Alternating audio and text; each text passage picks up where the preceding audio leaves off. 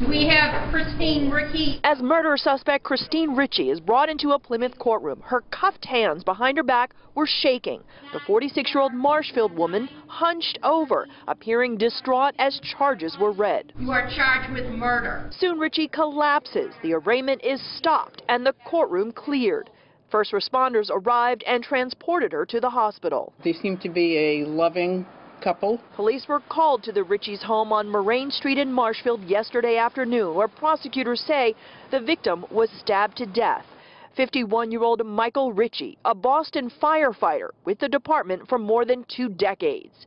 Neighbors of the couple tell us they have three children, two of them adults and one a teenager. It's just terrible. It's a terrible tragedy because now those kids, those wonderful kids, you know, they their mother is away or their father has passed, and it's just a horrible thing for a family. Boston Fire released a statement that reads in part, Michael was a valued member of the Boston Fire Department for 23 years. He will be greatly missed.